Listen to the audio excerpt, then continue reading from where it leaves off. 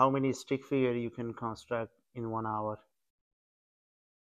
I think I could give it a solid one. No, one thousand. If I ask you to draw a stick figure, how many you can construct a one hour?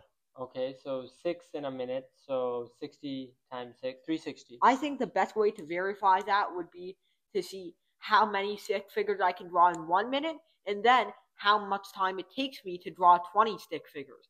So that way we can have both time and quantity measurements, and then we can extrapolate those to the scale of a thousand stick figures in one hour.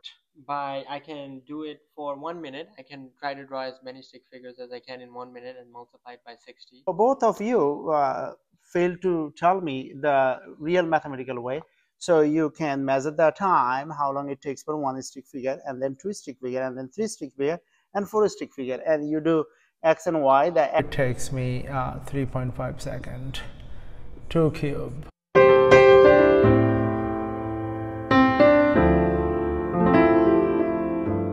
Three point five second, one cube. So this is my three, three point five over here, three point five second.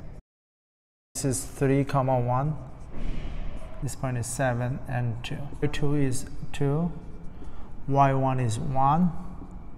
X2 is 7 and X1 is 3 over second.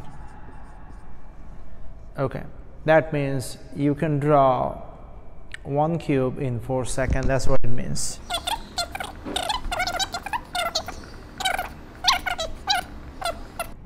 Fifteen cubes means in one hour you can do nine hundred cubes. One thousand. 1000. 360.